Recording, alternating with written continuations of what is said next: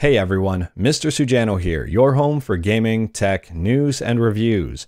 In today's video, we are taking a look at a full Raspberry Pi kit from a company called Labists. Let's get started.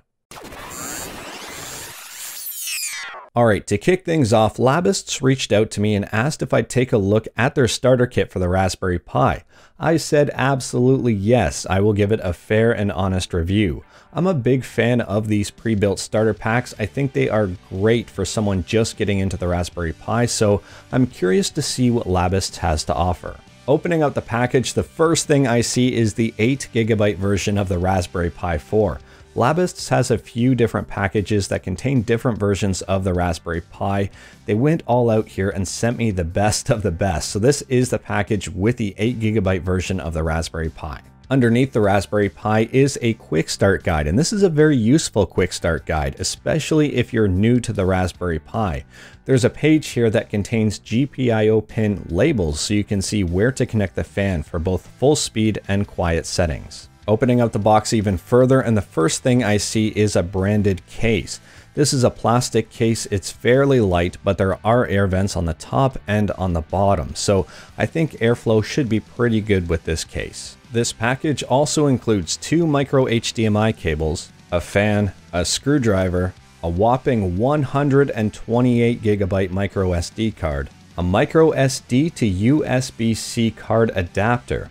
You don't see these very often at all, so this is kind of a neat little thing that they included here. Three heat sinks, and lastly, a Labists branded USB-C power supply. It supplies 5 volt and 3 amp of current, and it includes a power switch. Installation is fairly straightforward and fairly easy. The instruction manual will tell you where to place the heat sinks and there are four screws that hold in the Raspberry Pi. The fan screws right onto the top of the case and then you plug it onto the GPIO pins and you're good to go. Now, the hardest part about this entire install was plugging the fan onto the GPIO pins. For some reason, the connectors did not grip those GPIO pins very well at all, and they kept popping off. After a bit of effort, I did get them on and I was good to go. After installing the Raspberry Pi into the case, I noticed that all of the holes line up really nicely. This case is well designed and you don't have to worry about anything misaligning. There's a metal piece here where you can mount the case to a tripod if you want for the camera module. On the top of the case, there is a hole for that camera. Alright, I have the Raspberry Pi booted up and running inside the Labists case, and what I want to do now is run a few stress tests and see how well this case keeps the Raspberry Pi cool. Considering it does have a fan and there are three heat sinks here, I think it's going to do an okay job. Um, I'm going to run three different stress tests. I'm going to run the quiet cooling mode, I'm going to run the full speed fan cooling mode, and then I'm going to unplug the fan altogether. So right now I have the Pi overclocked at 2.147 gigahertz. It's overvolted as well. Uh, this is really going to stress the Pi out. Before I run the tests, I'm going to hold the case up to the camera so you can hear the difference between the quiet and the full cooling mode.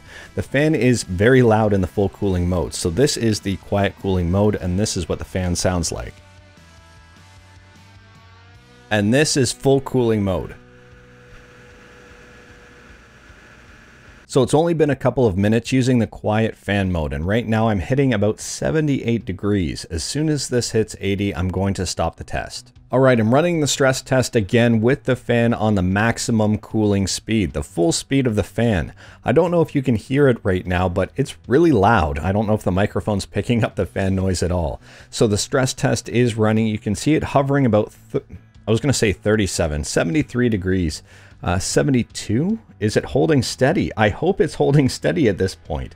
I was going to shut off the test if it made it to 80.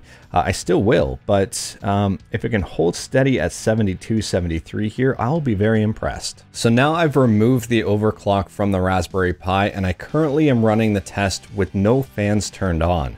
The temperature right now is sitting at about 65 degrees Celsius.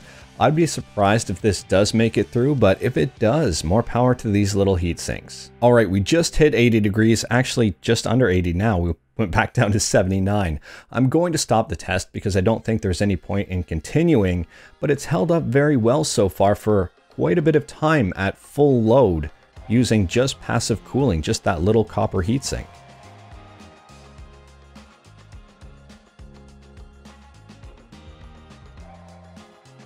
Alright, now let's get to my likes and dislikes about this package. First and foremost, I'll go over my likes. I liked a lot. I really liked how this was packaged up. I liked the case. I liked the power supply. The power supply was actually really surprising. I thought after overclocking and running the stress test, I might run into some power delivery issues, but that was not the case. It's actually a pretty good power supply. The added benefit of having the power switch on there is a huge plus. I also like that this kit comes with two micro HDMI cables. The only thing you're really missing from this kit is a keyboard, a mouse, and a monitor. Both HDMI cables and the power supply cables were thick and they felt like they were good quality. I also like the fact that they went with a name brand micro SD card with SanDisk. There were two things I did not like about this kit and both of them have to do with the fan. The first thing I didn't like is the fact that if you have the fan tightened very tightly against the top lid here, the lid will vibrate and it will make some additional noise. What I had to do was loosen the screws just a little bit here for the fan against the lid so that the fan can kind of hang down a little bit and rest on the screws as opposed to being pushed up tight against the lid.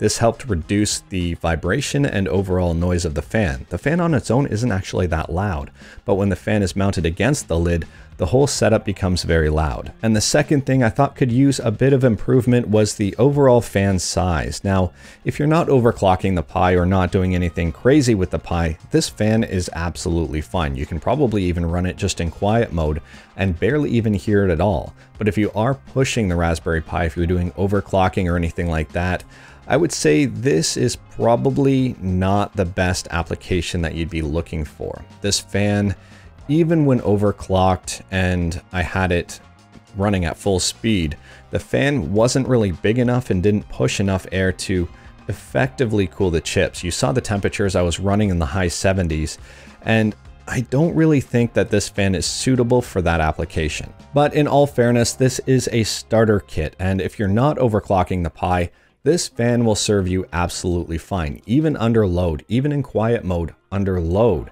you should be absolutely fine. And I don't know many people who would be picking up a starter kit with intentions of immediately overclocking the Raspberry Pi. I would actually highly advise against it if this is your first Raspberry Pi. I don't want to say overclocking is an advanced thing to do on the Raspberry Pi because it's very simple and straightforward, but the understanding of overclocking and temperatures and how everything kind of responds, including voltages, um, is a little bit more I would say above a beginner level thing to do. So that being said, I think this is an okay application for beginners. Now the kit that I tested out today is listed on Amazon in Canada for $240. If you're in the States, it's listed at $150. Now this kit includes the 8GB version of the Raspberry Pi as well as a 128GB micro SD card. Overall, I think this is not a bad value at all, considering the 8GB version of the Raspberry Pi isn't really cheap. Now, if $240 or $150 is a little above your price point, you don't necessarily need an 8GB Raspberry Pi. They also offer the 4GB Raspberry Pi kit with a slightly smaller micro SD card sitting at 64 gigs for $143 Canadian or $115 American. And for all of my friends overseas, this will set you back 104 pounds. Overall, I highly recommend both the 8GB and 4GB kits from Labists. The quality of the parts is there. They're actually a little above some of the other kits I've seen, which is pretty darn good. They give you pretty much absolutely everything you need here, and if you're a more advanced Raspberry Pi user, you can just swap out parts if you want to later on. It's not necessarily a big deal. Uh, for the price, it's probably also cheaper to get everything here as a kit as opposed to try to source everything individually. So thank you Labists for providing me this kit to take a look at, and thank you for investing in quality components for your kits. This is a pretty darn good kit for the money. That is all I've got for today, so let me know what you think about this kit in the comments below. If you like this video, leave a like. If you didn't like this video, leave a like. Hit that subscribe button, check out my other videos. Thank you everyone, take care.